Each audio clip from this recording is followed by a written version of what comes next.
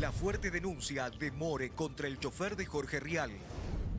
Hoy puede ser un día que marque un antes y un después en la vida de Morena Rial.